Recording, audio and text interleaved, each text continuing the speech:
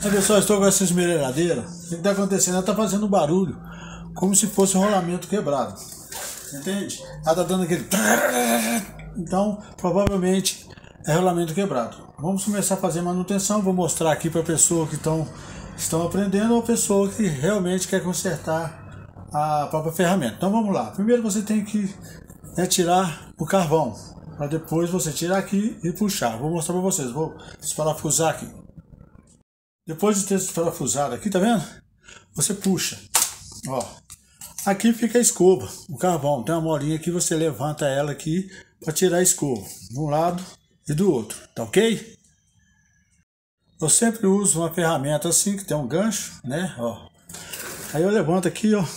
Ó. E ponho aqui do lado, tá vendo, ó?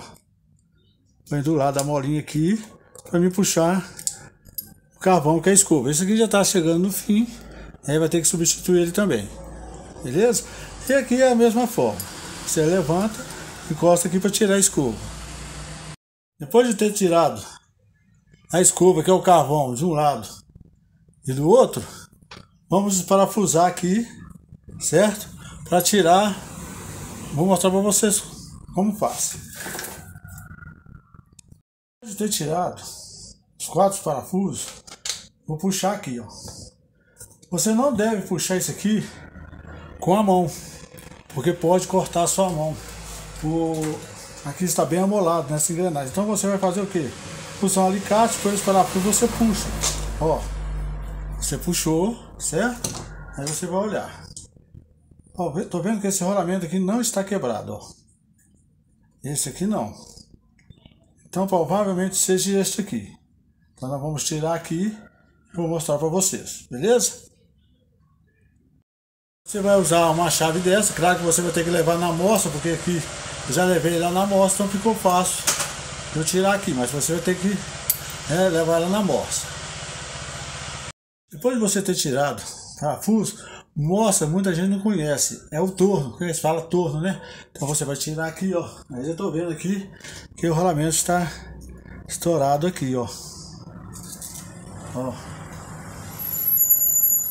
Tá vendo aqui, ó? O rolamento tá estourado aqui. Esse tá estourado, ó. Tá vendo? Então ela vai ter que substituir esse rolamento.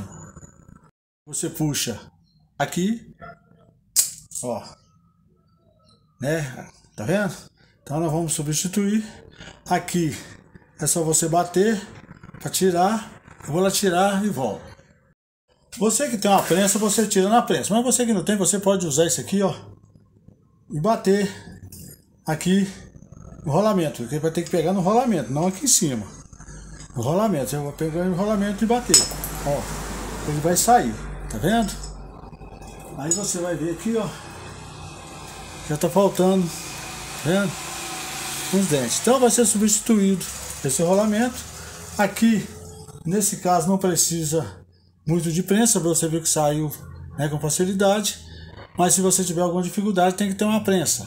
Então, estou mostrando para vocês aqui, né, como fazer a manutenção no caso do rolamento quebrado. Aí agora põe o rolamento novo, faz aquela limpeza, né, tira aqui, põe uma graxa nova, lava, põe uma graxa nova, faz a manutenção e troca as, as escovas aqui, que é os carvão que já está pequeno, né, faz a substituição e tudo beleza. Agradeço vocês aí.